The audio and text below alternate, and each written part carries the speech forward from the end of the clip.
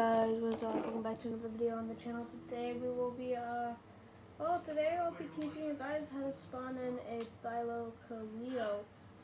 Um, yeah, I'm very excited to actually start this whole series by teach you guys how to, um, spawn in type of dinosaurs.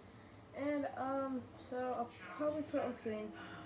But the, um, spawning code is S D F space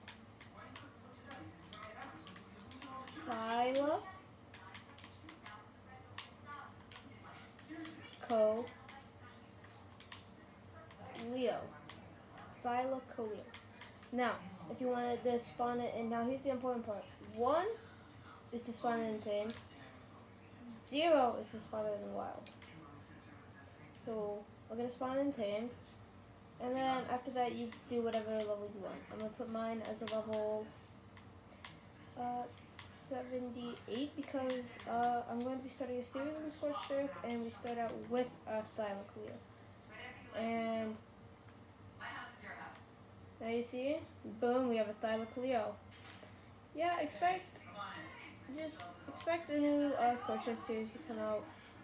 And uh, yeah, that is um that is it for the video, and I hope you guys enjoy, and I'll see you on the next video. Bye!